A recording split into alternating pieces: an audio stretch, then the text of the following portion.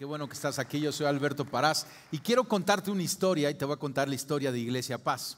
Algunos la han vivido, algunos este, quizá tienen los 20 años que estamos celebrando, otros se han venido integrando, pero hace 20 años mi pastor Sergio Treviño estaba plantando iglesias. Esta iglesia es una hija de Amistad de Puebla y Sergio Treviño en ese entonces era copastor. Y digo en ese entonces porque hace tres años partió con el Señor. Este, Dios se llevó a mi mentor, este, pero me dio otros mentores. Pero eh, él estaba plantando iglesias y de hecho hoy en día hay 11 iglesias en la ciudad del grupo de Amistad de Puebla. En, el país somos 150 iglesias y Iglesia Paz fue la tercera que Ernesto sembró. Y entonces nos invitó a un grupo de matrimonios, éramos como cinco matrimonios y nos dio la visión y nos dijo vamos a plantar esta iglesia eh, muy específico y fuimos los cinco matrimonios. Cuando fuimos, Caro y yo no nos dijo nada del pastorado, eso ya luego nos sorprendió después pero al poco tiempo de ya, iniciada la congregación comenzamos en la 25 poniente ahí detrás de, teléfonos de México y rentamos ahí un local, era un auditorio como de 150 gentes. Y al poco tiempo ya teníamos cuatro reuniones y eso iba creciendo increíblemente la mano de Dios, la gracia de Dios. Y Sergio, bueno, nos dejó como pastores a Caro y a mí y él regresó a plantar otras, otras iglesias, te digo, ya somos 11 nada más en la ciudad. Y em, como a los seis años teníamos ya cuatro reuniones en esas instalaciones y pues ya no cabíamos. Y entonces tuvimos que tomar una decisión. O le cerrábamos la puerta, no para clausurarlo, sino ya para que nadie más entrara, este, o nos teníamos que mover a otro local y tomamos obviamente la decisión de movernos a otro local. Si Dios está dando la gracia del crecimiento, pues tenemos que responder acorde con eso. Y entonces nos movimos a un local en Plaza, en Palmas. Plaza Palmas. Interesante porque el local que habíamos adaptado en la 25, Sergio comenzó ahí otra iglesia una de las once que, estamos. Y luego estuvimos otros seis años ahí en Palmas Plaza, un auditorio como de 500 gentes. Comenzamos con una reunión y al rato ya teníamos tres reuniones, ya no cabíamos. Y entonces fue que buscamos estas instalaciones hace más o menos ocho años, ¿no? Y entonces llegamos, llegamos aquí. Y también en Palmas Plaza se sembró otra, otra de las iglesias hijas. Y entonces eh, ese es el crecimiento que Dios, que Dios va dando. Y hoy te quiero hablar acerca de visión porque en todos estos años hemos caminado como iglesia en la visión de Dios. Y quiero hablarte un poquito acerca de qué es el concepto de visión y luego hablarte de la visión de Iglesia Paz, esta iglesia donde tú estás. Quizá tienes años perteneciendo, quizá estás llegando por primera vez y bueno, tienes que conocer a dónde estás llegando o por qué Dios te ha traído aquí. ¿Qué es visión? Déjame comenzar con esto.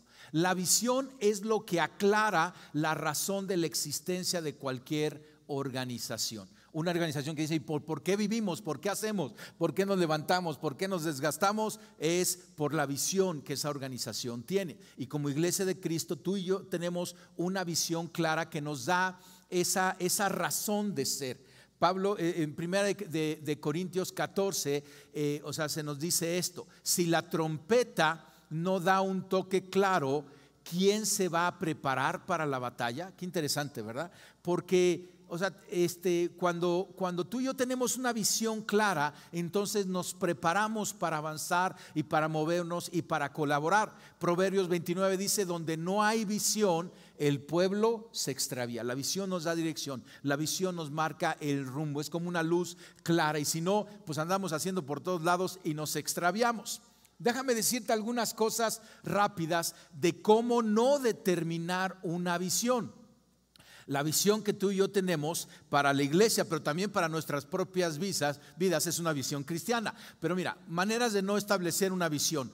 Puertas abiertas o puertas cerradas no es manera de establecer una visión. Porque a lo mejor tú dices, se me abrió la puerta, ah, entonces voy a correr por ahí. No es una razón suficiente. Pablo y Silas estaban en la cárcel en Filipos y tembló la cárcel y se abrieron las puertas. ¿Y qué hicieron ellos? Se quedaron ahí no salieron corriendo. Y al mejor tú pues ya les abrió Dios la puerta. No, fue parte del testimonio de decir, aquí estamos, no salimos corriendo. Entonces, puertas abiertas no nos marcan la visión. Si Dios dice por ahí, aunque estén cerradas, pues las tumbamos, ¿no? Motivadas por la vanidad. Obviamente, aquí el único que debe de brillar es Cristo. No estas deben ser motivadas por la vanidad del, del, líder o de los líderes o de la iglesia o de la situación. No, no, vamos caminando de acuerdo para que Cristo brille. Motivadas por la necesidad es otro error, porque necesidad hay mucho y sí hay que atender la necesidad, pero Dios nos tiene que mostrar cuál necesidad nos toca atender. Jesucristo no caminó guiado por la necesidad. Él caminó en la voluntad del Padre, sí atendiendo la necesidad. Otra, otro error es por recursos disponibles. A veces la gente dice, pues esto es lo que tengo. ¿Para cuánto de visión me alcanza, no? ¿O para qué visión me alcanza y con eso corren? Y, ese es uno de los grandes errores. La visión no sigue a los recursos. Los recursos siguen a la visión. Entonces, tú estableces la visión que Dios te está dando y Dios te va a apoyar en eso.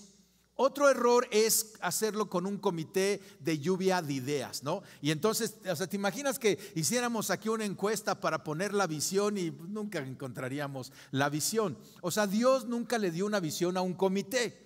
¿Te imaginas a Jesucristo diciéndole a sus doce, pues qué opinan? ¿Voy a la cruz o no voy a la cruz? Que hubieran dicho, no vayas a la cruz, ¿no? De hecho, le dijeron, pero Jesucristo estaba con la, con la visión de parte del Padre o dirigido aún por el líder, porque cuando somos líderes nos toca comunicar la visión, pero tenemos que reconocer que la visión viene de Dios, porque nosotros podemos tener grandes sueños para Dios, pero nunca vamos a poder tener los sueños que Dios tiene. Siempre sus caminos van a ser mayores. Jesucristo dijo, yo edificaré mi iglesia. Él no dijo, vayan y edifiquen mi iglesia. No, no, dice, yo voy a edificar la iglesia. Él es el líder, Él es el centro. Entonces, para el cristiano, la visión viene de Dios.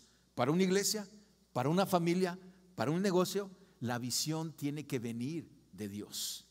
Una de las razones, primero, Dios tiene mucho más conocimiento y sabiduría y perspectiva porque tú y yo estamos aquí a nivel de cancha, ¿no? Pero Dios está ahí en el cielo y sabe perfectamente la perspectiva. Dice Isaías 55, porque mis pensamientos no son los de ustedes, ni sus caminos los míos, afirme el Señor. Mis caminos y mis pensamientos son más altos que los de ustedes, más altos que los cielos sobre la tierra. Cuando una visión no te espanta, no viene de Dios, viene de tu corazón.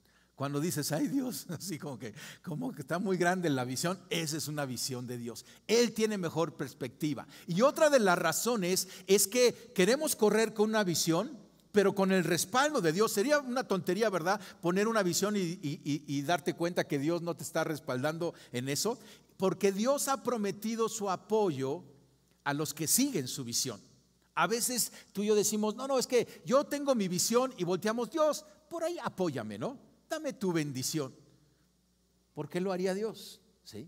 Juan 15, 7, Jesucristo dijo, si ustedes permanecen en mí y mis palabras permanecen en ustedes, pidan, pueden pedir lo que quieran y les será concedido.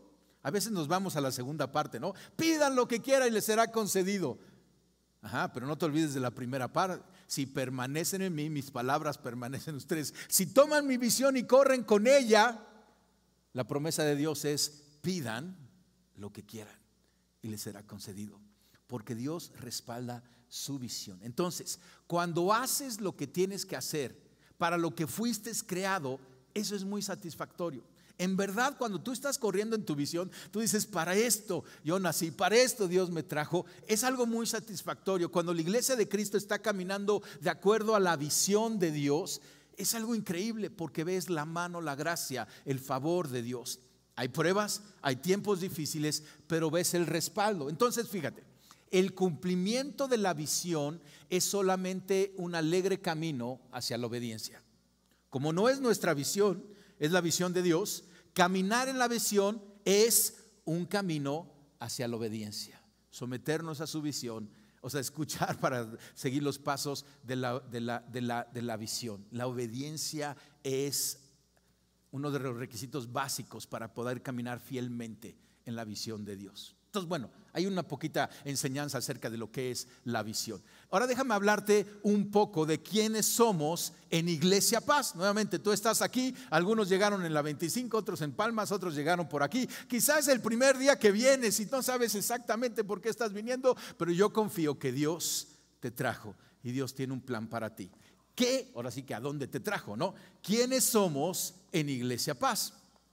En Iglesia Paz somos una iglesia cristiana, Cristo está en el centro, somos el cuerpo de Cristo, Cristo es la cabeza, somos no denominacionales, tú puedes ver varias denominaciones en el mover cristiano, nosotros somos una iglesia no denominacional y estamos abiertos al mover del Espíritu Santo, eso es algo muy puntual que nos caracteriza. Y también algo importante es que nuestra enseñanza está basada en la Biblia. Y tú vas a ver que yo digo, vamos a abrir la Biblia juntos. Y te pongo versículos y son tomados de la Biblia. Y si hay talleres, todo está basado en la enseñanza bíblica. Es nuestra autoridad de donde obtenemos nuestra norma de fe y nuestra conducta para ser iglesia, la palabra de Dios. Y creemos que no solamente el liderazgo debe estar leyendo la Biblia, sino todos nosotros, cada uno de nosotros metidos en la palabra, pegados a la palabra. Nuestro nombre completo como iglesia es Amistad de Puebla La Paz. Ya luego lo abreviamos y nada más decimos paz, ¿no? O iglesia paz, así muy, muy abreviado. Pero nuestro nombre completo es Amistad de Puebla La Paz. Si ves en el sobre de los diezmos, ahí dice, o sea, la cuenta de banco es Amistad de Puebla La Paz. Ese es nuestro nombre, esa es la razón social, digamos. Porque somos una iglesia hija de Amistad de Puebla. Amistad de Puebla, te decía, tiene 11 iglesias en la ciudad, tiene 150 en la nación y somos una red apostólica muy cercana, muy fuerte y damos cuentas. Yo tengo mis pastores, aquí están las fotos de, mis pastores, y bueno, ahí está Sergio y, Cristi Treviño. Sergio ya partió con el Señor, pero Cristi está muy activa en la red de iglesia, y está Ernesto y Ruth Alonso. Y, y te los muestro porque si un día me tienes que acusar, pues ya sabes a dónde acusarme, ¿no?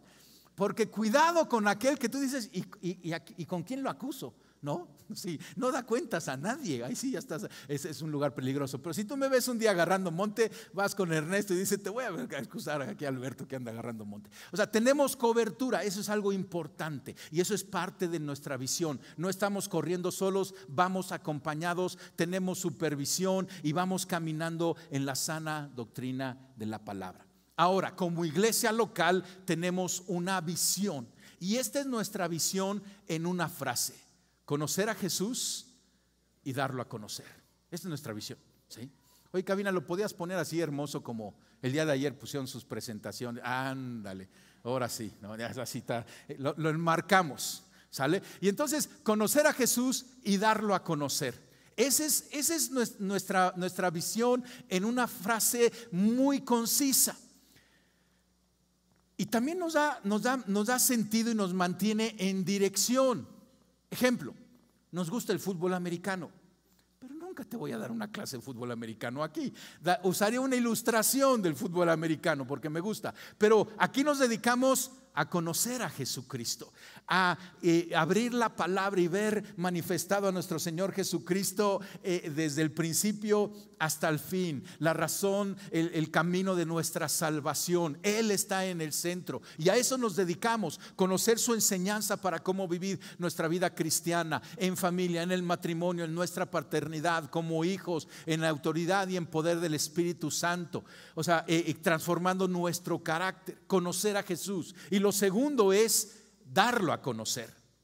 Porque si nada más nos dedicamos a conocerlo, esa no es la visión de Dios. ¿Escuchas? Esa no es la visión de Dios completa. O sea, sí hay que conocerlo, porque tú no puedes dar a conocer a alguien que no conoces. Entonces nos dedicamos a conocerlo, pero lo segundo es darlo a conocer. ¿Cómo es que tú y yo llegamos aquí? A mí hace más como 33 años, ¿sí? Alguien me platicó de Jesucristo. En verdad me mostró a Cristo y yo lo conocí. Y ahora me dedico a conocerlo y darlo a conocer. Entonces, ese es muy puntual, ¿verdad que está fácil? O sea, si de algo te memorizas el día de hoy, memorízate esto, conocer a Jesús y darlo a conocer, porque Jesucristo es lo que todos nosotros necesitamos. En una ocasión llegó una mujer y me dijo, pastor, le voy a traer a mi esposo para que me lo cambie. Y entonces yo pensé, pues a lo mejor quiere otro esposo, ¿no? Y quiere que yo se lo catesfaxie. No, que quería que, yo le ayudara a, cambiarlo. Y yo le dije a la mujer, ¿sabes qué? Yo no puedo cambiar a nadie. Si con trabajos me estoy tratando de cambiar yo mismo, ¿no? Ahora poder yo cambiar a alguien, pero le dije, pero conozco a alguien que sí transforma los corazones. Jesucristo Señor. Y lo que puedo hacer con tu esposo es hablarle de Cristo. Porque ahí está la fuente de perdón, ahí está la fuente de transformación. Si tú vienes hoy con tu corazón dolido, con tu corazón en estrés, buscando respuestas, te digo, es Cristo, Cristo resucitado. Y a eso estás en un buen lugar para conocerlo.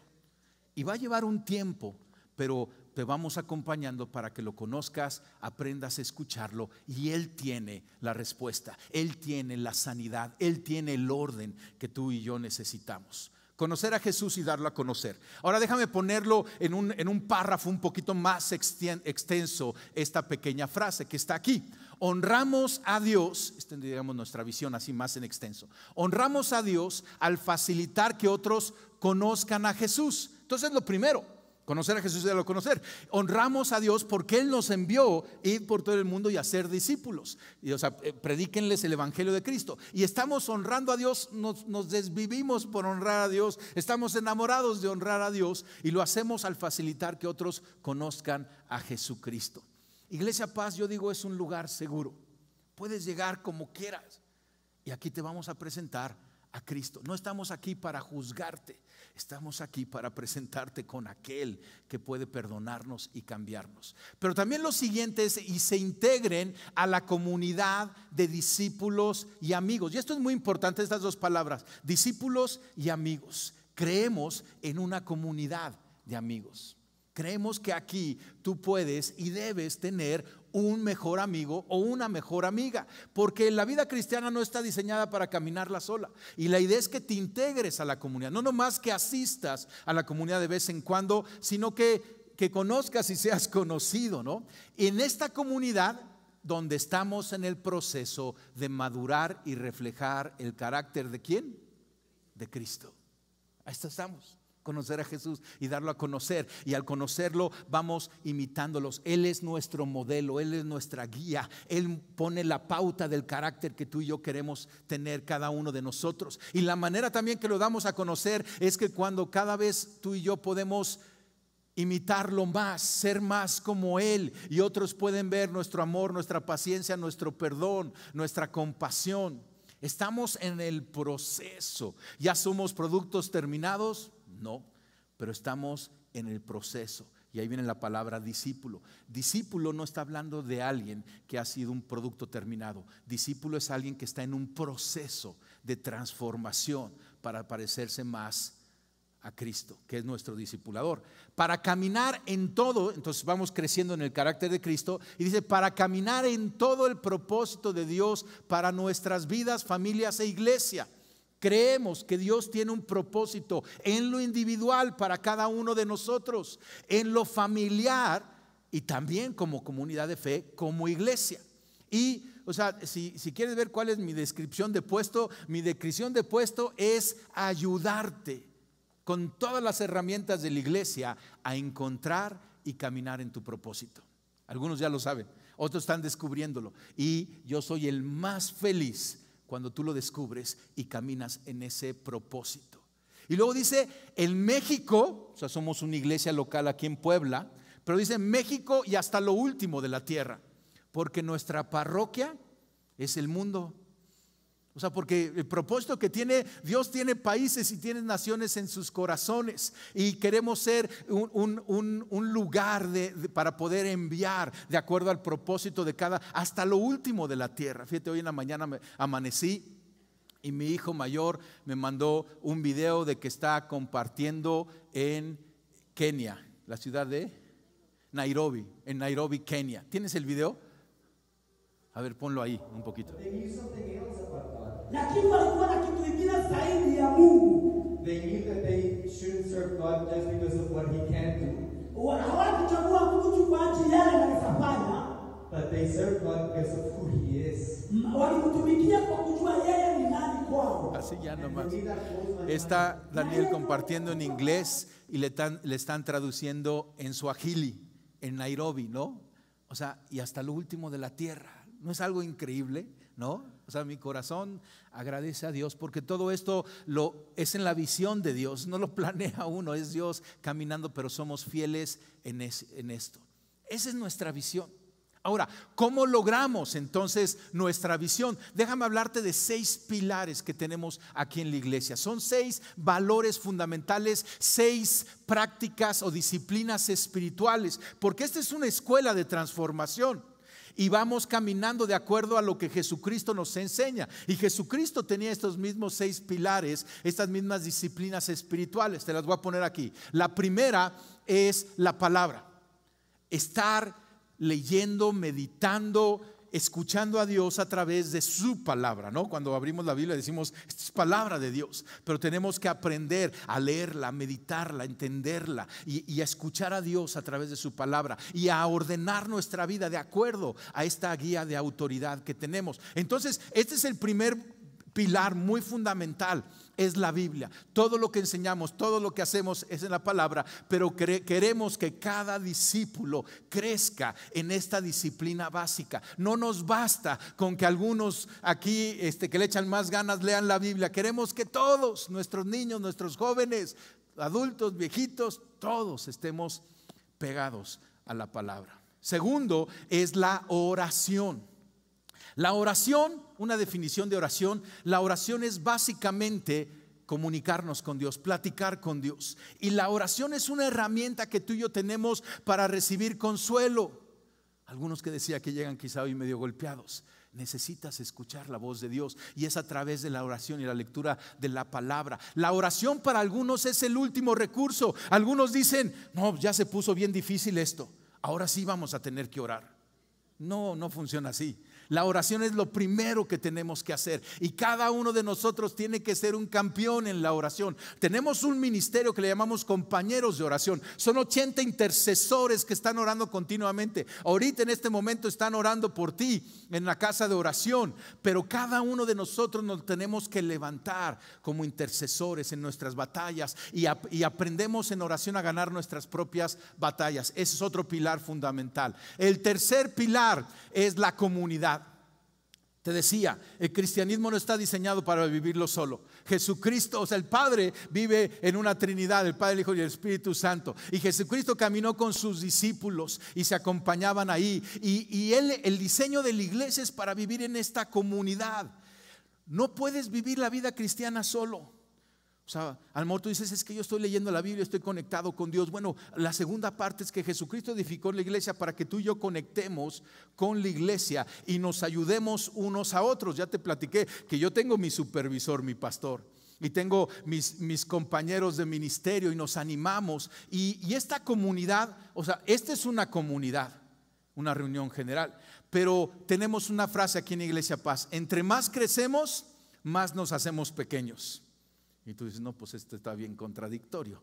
¿Cómo que si creces te haces pequeño? A través de los grupos pequeños de amigos, grupos paz le llamamos. ¿sí? Y entonces esos son grupos de amigos o de amigas que van caminando juntos en esa comunidad, que alguien conoce. O sea, no, a veces te pasa que tú te preguntas, no, no fui el domingo y alguien se habrá dado cuenta. Y tú dices, no, pues, pues está difícil, ¿no? Porque si te sientas por allá y pues ni veo a los de allá. Y entonces, este, o sea, es difícil que alguien se dé cuenta, pero cuando no vas a tu grupo pequeño, luego, luego alguien se da cuenta y te echa un telefonazo y qué está pasando y oran unos por otros. La comunidad es otro pilar fundamental. Y voy a regresar a ese. Cuarto, generosidad. Somos una comunidad generosa. Dios nos ha dado tanto. Y ese es el modelo de nuestro Señor Jesucristo, el hombre más generoso. Dio su propia vida por todos nosotros. Y Dios nos ha dado tiempo, nos ha dado talentos, dones y nos ha dado recursos.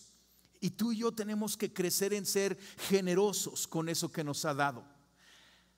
Iglesia Paz, todo lo que hacemos es a través de voluntarios. Porque a lo mejor tú dices, no, es que contrataron ahí un profesional para que esté cuidando a nuestros niños y a nuestros jóvenes. No, son voluntarios, discípulos dispuestos a, donar su tiempo. Algunos llegan tempranito, los de la alabanza aquí para hacer pruebas de sonido y demás. No nomás llegan aquí y agarran la guitarra y crán. No, tienen que venir y ensayan y practican y ensamblan y demás. Y son puros voluntarios en la cabina, ya toda la, la raza de la cabina. Este, o sea, son puros voluntarios. Generosos con nuestro tiempo, generosos con nuestros talentos y generosos también con nuestros bienes, porque todo viene de Dios. Todo lo que hacemos aquí se mantiene con la generosidad de cada familia que reconoce que todo viene de Dios y generosamente aportamos para la iglesia. Y por eso es importante hablar de la visión. Por lo que tú estás siendo eh, generoso es para caminar en la visión de Dios. Quinta, la adoración, otro pilar importante. Estamos, comienza nuestra misión diciendo, honramos a Dios. Queremos adorar a Dios. En todo lo que hacemos, queremos adorar a Dios. Hay un momento de adoración en cada reunión. Si te has dado cuenta que comenzamos con adoración esta reunión, ¿sí? Y algunos dicen, ah, es que ponen cantos como para hacer tiempo mientras los que llegan tarde. No, no, eso no es el propósito. La Biblia nos enseña que es la manera correcta de entrar delante del trono de que es santo, santo, santo. Y cuando adoramos también Dios está trabajando en nuestros corazones. Es como meterle heredado a la tierra porque después viene la siembra eh, de la palabra de la semilla. Pero no, no dejes de venir, porque a veces venimos con corazones duros, no pisoteados durante toda la semana por situaciones sin problemas. Llegamos a la adoración y, y el Espíritu Santo ablanda nuestro corazón al derramar nuestro agradecimiento a Dios y ahora estamos listos para recibir su palabra. Honramos a Dios, adoramos a Dios. 24/7. Cuando los jóvenes vienen conmigo porque los voy a casar, yo les explico acerca de la, de la boda y de la ceremonia, pero les digo, planeen su boda para que honren a Dios desde el principio hasta el final. Ahora sí que desde las 6 de la tarde hasta las 3 de la mañana, ¿no? Porque algunos tienen esta visión, decir, bueno, vamos a honrar a Dios, nos vamos a casar por la iglesia y todo bien bonito. Pero acabando la ceremonia le decimos, Dios, y ahora sí ya regrésate al cielo, porque ahora sí vamos a empezar nuestro zafarrancho, ¿no? Yo le digo, no, no, espérame. Honra a Dios de principio a fin. La adoración a Dios, adoración corporal y la adoración individual de cada uno de nosotros en nuestro lugar secreto. Y el sexto, la evangelización. Conocer a Jesús y darlo a conocer. Este tesoro que tenemos de Cristo Jesús, te voy a decir un secreto. Crece entre más lo compartas. Porque hay otros tesoros que el mundo te quiere dar, que si los compartes se hacen chiquitos, pero el tesoro de Cristo crece entre más lo compartimos. Agarra más intención en nuestra vida. Y la evangelización es que tú y yo en nuestro círculo de influencia compartamos las nuevas nuevas de Cristo les contemos a otros lo que Cristo está haciendo en nosotros. Si tú estás viniendo hoy con un corazón tribulado, lo que tenemos para darte es contarte la historia de lo que Dios ha hecho en nuestra propia vida. Un Dios bondadoso, un Dios de perdón, un Dios poderoso. Y te contamos esto para que entonces tú entres en una relación personal con el Dios que quiere y nos llama hijos. Wow. Entonces, Jesús es nuestro modelo para estas disciplinas espirituales. Y estos son seis pilares que tenemos. Ahora, todo lo hacemos alrededor del discipulado. Palabra importante. en nuestra misión decía discípulos y amigos. Tenemos que ser amigos. ¿sí? Queremos ser amigos. Estamos aquí, queremos que tengas un mejor amigo en Iglesia Paz pero tenemos que ser discípulos. Jesucristo nos enseñó esto en Mateo 28, 18. Léelo conmigo dice, en la pantalla. Dice, Jesús se acercó, o sea, ya resucitado Jesucristo, se acercó y dijo a sus discípulos, se me ha dado toda autoridad en el cielo y en la tierra. Un poquito diciendo, aquí está el respaldo, ¿sí? Aquí mis chicharrones truenan. Por lo tanto, o sea, como yo tengo la autoridad, como a mí se me ha dado el dominio y la autoridad, dice, por lo tanto, vayan y hagan qué? A todas las naciones. Muy importante. No dijo, vayan y hagan creyentes. O vayan y hagan cristianos. O vayan y hagan calientabancas. Dijo, discípulos. Si la visión no te espanta, no es de Dios. Está bien fácil hacer calentabancas. Pues ponemos una silla bien cómoda y vienen, ¿no? Pero discípulos, qué reto. Discípulo es alguien que sigue a su Señor, que trata de imitar a su Señor, que se deja transformar por su Señor, porque tú y yo somos discípulos de Cristo. Acuérdate, yo no transformo a nadie, ¿sí? Somos discípulos de Cristo. Hagan discípulos de todas las naciones. Nuevamente, nuestra parroquia es el mundo entero. Bautizándolos en el nombre del Padre, del Hijo y del Espíritu Santo. En la primera reunión tuvimos bautizos.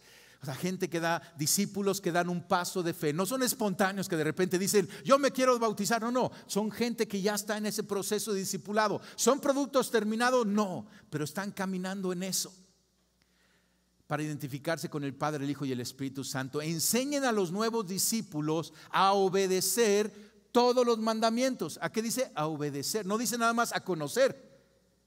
Es a obedecer. Esa es la diferencia de un discípulo. ¿sí?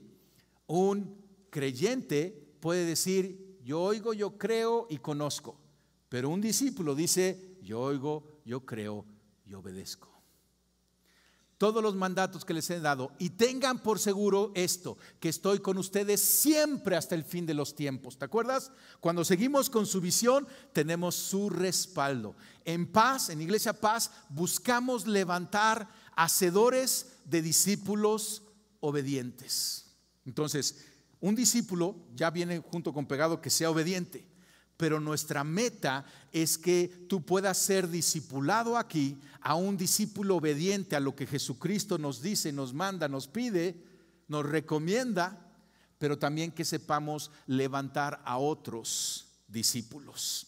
O sea, la meta no nomás que digas soy discípulo, sino que digas soy un discípulo que sabe hacer otros discípulos. Segunda de Timoteo 2:2 Pablo le dice a su discípulo Timoteo, me has oído enseñar verdades que han sido confirmadas por muchos testigos confiables. Ahora enseña estas verdades a otras personas dignas de confianza que estén capacitadas para transmitirlas a otros. O sea, este pasaje se ha cumplido por más de dos mil años lo vamos a interrumpir tú y yo aquí, ¿no? ¿Verdad que no? Hasta que Cristo regrese tenemos que seguir con este proceso. Pero el discipulado es algo intencional, no accidental. O sea, el discípulo de repente dice, ups, ya estoy siendo discipulado. No, no. El, o sea, el discipulado tiene que ser intencional y hay dos partes que tienen que ser intencional. Una es la iglesia. Como iglesia tenemos que ser muy intencionales en esto. Y lo segundo es aquel, el discípulo. El discípulo tiene que levantar la mano y decir, ¿cómo le hago de pasar de calentabancas a ser discípulo? ¿No? ¿Qué es lo que tengo que hacer? ¿No? ¿Qué es lo que se pide de mí? Y entonces tiene que haber esta, esta intencionalidad. Aquí en Iglesia Paz tenemos un proceso, muy sencillo, pero es un proceso. Algunos me preguntan, y, oye, ¿qué tan complicado es hacer iglesia? Y digo, bien fácil. ¿Sí? Te voy a enseñar el proceso de Iglesia Paz. Aquí está. Lo primero es la reunión general. Esta es la reunión general. ¿Sí? Reunión general, iglesia, iglesia, reunión general. Esta es la reunión general. Y en esta reunión general venimos aquí a adorar juntos, a recibir visión, como estamos oyendo ahorita, a escuchar, abrir juntos la palabra y hacer comunidad. Sin embargo, o sea, en, una, en un domingo que estamos dos mil personas, en una dinámica donde el tiempo se nos va, ¿nunca te quedas con ganas de hacer preguntas el domingo? ¿Sí? A mí, a mí cuando era chavo y estaba llegando a la iglesia, me quemaba eso, porque soy bien preguntón yo. Entonces yo o sea, dame chance, ¿a dónde le pregunto y todo? ¿Sí? Pero aprendí que hay un siguiente paso. De la reunión general saltamos a los grupos paz. Los grupos paz son grupos pequeños de amigos preguntones. O sea, ahí sí se vale decir, a ver, a ver, a ver, a ver, a ver, ¿sí? Explíquenme, ¿qué pasó con esto? ¿No? Y si no te lo pueden explicar, le preguntan a su coordinador y el coordinador le pregunta al líder y el líder le me pregunta a mí y yo si no te lo sé contestar te digo, no tengo ni idea. ¿Sí? Con toda sinceridad. Pero se vale preguntar y ahí te conocen por nombre. Ahí es donde hacemos amistades. A lo mejor aquí en la reunión general puedes hacer amistades, porque verdad que siempre vamos y nos sentamos en el mismo lugar, ¿verdad que sí? Sí. Yo ya sé dónde los voy. a Aquí están. Y entonces al vecino empezamos a hacer amistades. Pero en un grupo pequeño hay más intencionalidad. Conocemos nuestras vidas, abrimos nuestro corazón, oramos unos por otros. Entonces es el siguiente proceso, el grupo paz. Lo siguiente es el lugar secreto. El lugar secreto, así le llamamos porque Jesucristo, cuando estaba enseñando el Padre Nuestro a sus discípulos, les dijo, ustedes no vayan en público a orar ustedes entren a ese lugar, cierren la puerta, ese lugar secreto, donde solamente su Padre ve lo secreto. Y ahí oren así, Padre nuestro. y hablen su Biblia y platican y oramos con Dios y adoramos a Dios y dejamos que Él nos transforme a nosotros. Entonces, fíjate qué interesante proceso, porque la reunión general es así como que la puerta de entrada. Y este es un lugar seguro, invita a tus amigos que vengan acá y esa es la reunión general. Pero la idea es que puedas dar un salto al grupo pequeño y eso es algo importante. A veces pensamos que estamos siendo discipulados aquí. Te voy a decir algo.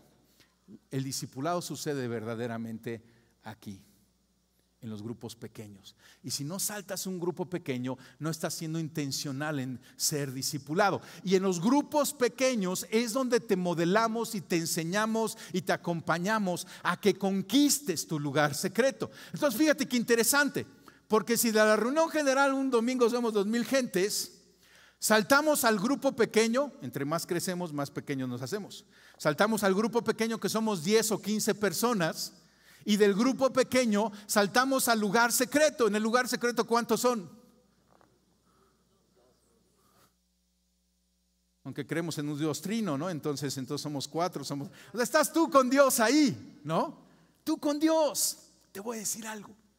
Te voy a decir una de las más grandes revelaciones. La verdadera transformación sucede en el lugar secreto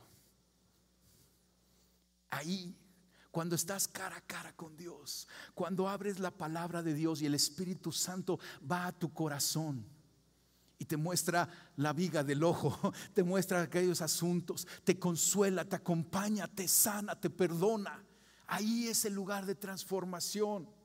Lo interesante es que es difícil que alguien llegue directamente al lugar secreto. Se requiere un proceso, llegar a la iglesia, un grupo pequeño donde se modele, se enseñe y entonces llegas al lugar secreto. Yo digo, esta es la dieta de un cristiano. Si un cristiano está viniendo a una de las reuniones del domingo, las tres son iguales, los tres horarios que tenemos. Solo la primera reunión tenemos traducción al inglés, es lo único diferente, pero las otras tres son iguales. Este, y luego en la semana va un grupo pequeño y cada día está en su lugar secreto con Dios. Yo les digo, ya, esa es su dieta de cristiano. A veces, pero ¿y qué hago con el resto del tiempo? Pues vas y trabajas y, eres papá y eres esposo, esposa y, y haces ejercicio y te lavas los dientes y otras cosas, ¿no? Pero estas tres cosas, un cristiano fuerte es alguien que está congregándose y adorando en comunidad. Está teniendo una, comunidad pequeña, un compañerismo, mejores amigos, estudiando la palabra, ayudándose, pero cada día en su lugar secreto con su Señor. Y este proceso termina con el servicio, porque, ¿te acuerdas que decíamos voluntarios? ¿Cuándo estás listo para entonces servir? Cuando tienes estos tres conquistados, entonces porque damos de lo que tenemos. No podemos dar de un corazón vacío. Y cuando alguien sirve, porque ha adorado, porque se ha acompañado y porque ha escuchado la voz del Padre, está listo para poder dar a otros. Está interesante el proceso, ¿verdad que sí? La clave está aquí, obviamente ese es el lugar de transformación, pero el grupo pequeño es donde se disipula. Los grupos pequeños son el vehículo básico de discipulado en Iglesia Paz. ¿Sale? Si tú no estás en un grupo pequeño, en cierta forma no estás siendo discipulado y necesitas integrarte en un grupo. Lleva tiempo y tenemos grupos de niños. O sea, nuestros niños, eso lo consideramos en la escuela dominical, grupos pequeños, están en salones con un mentor. Nuestros jóvenes están en mesas redondas con, y hay de, secundaria, de prepa, de universidad. Las damas, y, damas hay grupos, las damas son las damas, ¿no? Entonces tienen eh, todas ellas y más que victoriosas y cuatro por cuatro y, y amigas con propósito. Hay reunión de varones, hay jóvenes solteros profesionistas, etcétera. Este, eh, jubilados, hay, varios grupos y la idea es que tú te puedas integrar a uno. El discipulado es claramente una visión. Te lo voy a ilustrar así. Aquí traje como dos kilos de frijoles y el día de ayer me puse a partirlos por la mitad, toda la tarde, ¿sale? Ahí estuve partiéndolos por la mitad, ¿sale? Entonces hay dos kilos de frijoles partidos a la mitad. Y aquí traigo cuatro frijolitos enteros pero cuatro frijolitos. ¿Sale? Y entonces, si yo de repente le digo este hermoso matrimonio, ¿sale? Eh, es una catafixia, así como que ustedes pueden elegir. ¿Qué prefieren? ¿Dos kilos de medios frijoles o cuatro frijolitos? Y hay, la disensión, que se pongan de acuerdo. Si la señora quiere, sí, porque quiere hacerle un buen caldo a su esposo, ¿no? De medios frijoles, esto para que alcanza, ¿sí? Pero el Señor dice los cuatro frijolitos, Entonces, pónganse de acuerdo y la siguiente semana vienen a, a ver qué. O sea, si fuera para comer, pues claro que tú dices, dame los dos kilos de medios frijoles. Pero si fuera para comer dentro de 15 años, ah, entonces los frijolitos te van a producir más frijolitos. Esto no te va a producir nada. Igual en la iglesia.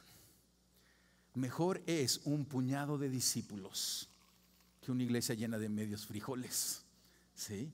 pueden llenar y pueden alabar y aplaudir y demás, pero nuestra meta es que todos seamos frijoles enteros. Ahora sí, imagínate lo que podemos hacer. ¿Cómo medimos el éxito del discipulado en los grupos paz? Regresando a nuestros pilares, cuando los discípulos tienen una diaria interacción con la palabra, cuando los discípulos tienen una poderosa vida de oración, cuando los discípulos tienen un fiel compromiso a vivir en comunidad. Es hermoso porque cuando voy a funerales, ¿sabes a quién me encuentro ahí en los funerales? Al grupo pequeño, al grupo pasa acompañando a la familia. Cuando voy a ver a alguien que tuvo un bebé, ¿sabes a quién me encuentro ahí? Al grupo pequeño acompañándolos. Cuando me voy al torneo de fútbol y alguien está compitiendo ahí, veo al grupo pequeño ahí en las tristezas y en las alegrías. Un fiel compromiso a vivir en comunidad. Una generosidad continua también y creciente y una adoración fiel a su Padre en los cielos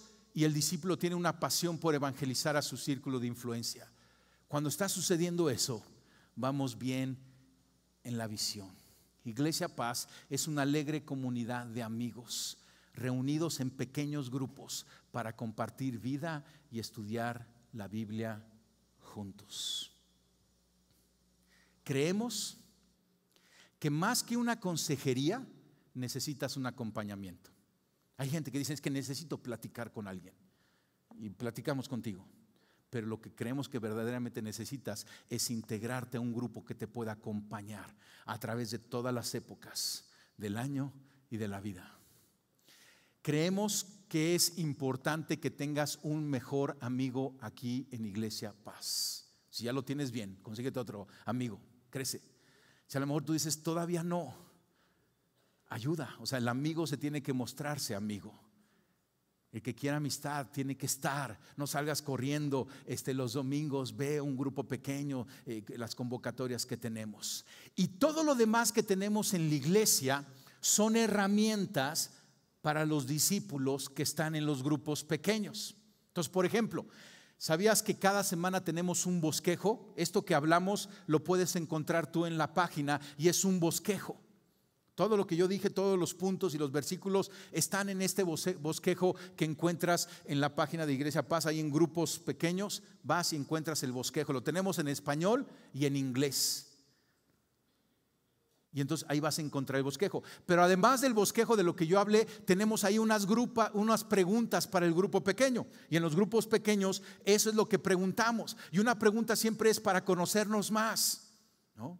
Por ejemplo, de esta semana estamos preguntando, ¿qué es lo que este grupo pequeño ha impactado en tu vida? Para compartir, para conocer. ¿no?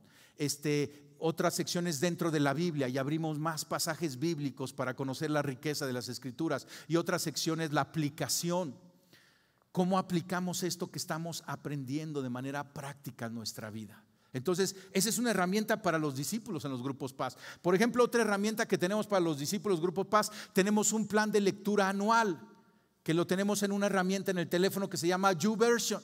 Entonces, bajas la aplicación de YouVersion y buscas nuestro plan que como iglesia subimos al YouVersion que se llama Busca. Y estamos leyendo el mismo pasaje. Hoy leímos Jeremías 7. Y es padrísimo porque estamos leyendo el mismo pasaje bíblico todos y podemos comentarlo. Otra herramienta que tenemos es, tenemos una escuela bíblica. Todos los domingos de 10, de 9 a 10 antes de la primera reunión, tenemos una escuela bíblica y vamos dando cursos. Esos cursos no sustituyen el grupo pequeño, lo complementan. Tenemos seminarios también durante la semana y el año, cursos, pláticas diversas. Por ejemplo, tenemos un seminario de libres, otro de ocho decisiones, el de paz financiera. Si tienes problemas financieros, el de paz financiera da consejos bíblicos acerca de las finanzas. Tenemos eh, otro curso de empoderados, escuchando la voz de Dios. Tenemos escuela para padres, prematrimonial. El equipo de matrimonio organiza un retiro matrimonial al año y varias pláticas de matrimonio. Todo eso son herramientas para los discípulos, para enriquecer el crecimiento, la transformación eh, eh, eh, de, los, de los discípulos. Tenemos una reunión semanal de, de oración los días martes para crecer y aprender en oración. Tenemos un ministerio de amor que es el brazo de la congregación que bendice a los de afuera. Pero todo eso está para, son herramientas para que lo puedas aprovechar. Escucha, quizá tú estás llegando aquí y todavía no, no, sientes que te estás integrando, pero, pero hay cosas en tu corazón, hay dolor en tu corazón. Iglesia Paz es un oasis para ti. Aprovecha todo lo que hay aquí. Todos esos recursos están a tu disposición. Son para tu beneficio. Están diseñados de acuerdo a la voluntad de Dios. Y Dios te ama. Y Dios conoce lo que tú necesitas. Termino con esta frase. ¿De qué somos en Iglesia Paz? En Iglesia Paz vivimos en intimidad con Dios mientras caminamos en comunidad con los de adentro y somos de influencia con los de afuera. Esa es la visión de Iglesia Paz. Íntimos de Dios. Cada uno de nosotros.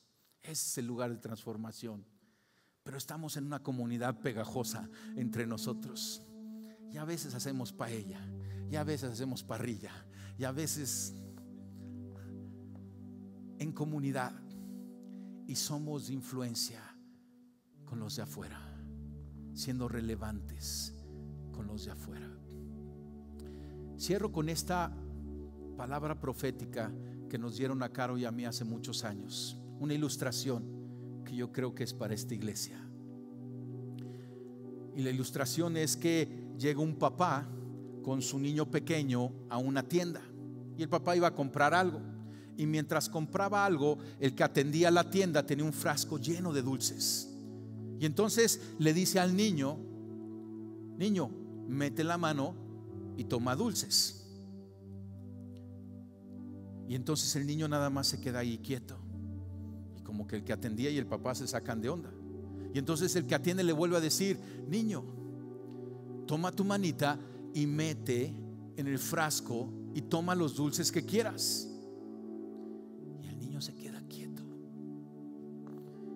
Entonces ya está así medio el ambiente medio raro así porque qué pasó, ¿no? Este y entonces el de la tienda agarra, abre el frasco, mete las manos, agarra los dulces y se los da al niño. Y entonces el niño nada más le hace así, ¿no? Y entonces ya le pone todos los dulces y sale de la tienda feliz. Y entonces afuera su papá le pregunta, hijo, ¿por qué no tomaste los dulces cuando el Señor te dijo?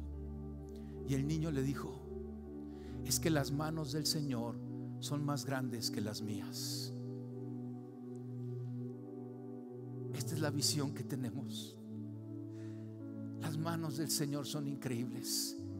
Que Él nos sirva, que Él nos guíe, que Él nos dé. Cierra tus ojos. Señor, te damos gracias por la obra que estás haciendo la historia de salvación en cada uno de nuestros corazones. Gracias Jesús porque tú eres el centro y a ti adoramos. A ti te escuchamos, a ti te seguimos. Señor, levanta aquí una comunidad de discípulos tuyos, apasionados y convencidos de que tus manos son más grandes. Señor, queremos caminar como iglesia no arrebatando nosotros, sino esperando a que tú nos des, a que tú nos guíes. Queremos todo de ti y seremos pacientes y seremos obedientes en caminar en tu visión. Y quizá tú estás aquí y nunca has hecho una oración para nombrar a Jesucristo tu Señor y Salvador. Y este es el primer paso para conocerlo. Cuando crees en Él y tomas una decisión personal para someterte a Él. Y yo quiero guiarte en esta oración. Y si tú estás aquí y quieres hacer esta oración, repítela conmigo. Dirígesela al Padre. Y dile, papá Dios, yo te doy gracias porque hoy sé que me ves. Porque hoy sé que tienes un plan de salvación para mi vida, de rescate, de guianza. Y Señor, te pido perdón porque he intentado en mis fuerzas. Te pido perdón, Señor, por todas esas malas decisiones, por mi rebelión y mi pecado. Te pido perdón. Y a ti, Jesucristo, hoy te nombro el Rey y Señor de mi vida. Me rindo a ti. Jesús, quiero ser un discípulo verdadero tuyo. Caminar cerca de ti Jesús, quiero ser un íntimo, quiero ser un hijo, quiero ser un cercano. Y para eso necesito que tú seas mi Señor y Rey, hoy y siempre. Amén. Señor, levanta una comunidad de fe entendida en tus tiempos, entendida en tus caminos entendida en tus sueños. Queremos soñar tus sueños. Queremos ver como tú ves. Señor, levanta una comunidad relevante para aquellos que te necesitan, abierta, sensible. Señor, queremos ser ese bastión de tu verdad en medio de un mundo confundido. Queremos ser una familia que camine en unidad, tu familia, donde tú eres el Padre. Queremos ser tu iglesia, donde Cristo tú eres la cabeza, el rey, el centro y el único que brilla.